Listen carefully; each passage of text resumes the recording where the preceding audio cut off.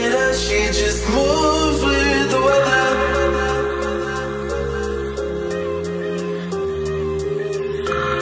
She guides me with her patience, and we breathe in together.